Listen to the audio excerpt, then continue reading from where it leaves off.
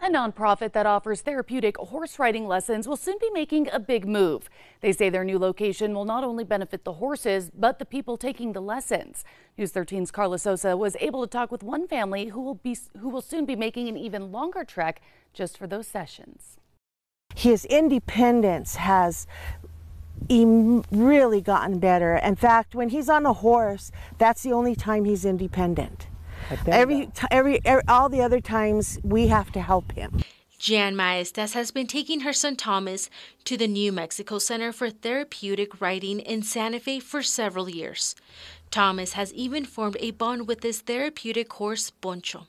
We really need these programs for our kids who have disabilities because these programs make, make our kids and our adult kids happy.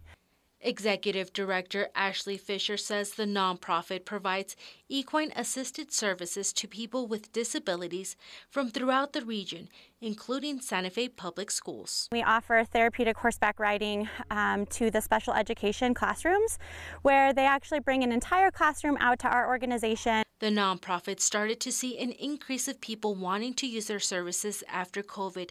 Now there's a wait list of about 10 to 12 people, as well as a wait list on their school outreach program. In the meantime, they're doing their best to keep their horses healthy. We have strict policies on how often the horses can be used. Um, that way they don't burn out and they stay healthy. Um, so again, we need more horses. It's been a five-year search for the nonprofit to find their new forever home. That means a move from Santa Fe to Stanley, New Mexico.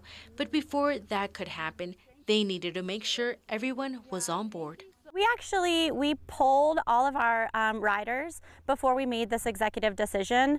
Um, we uh, interviewed them and asked them if they would still want to uh, come and receive services.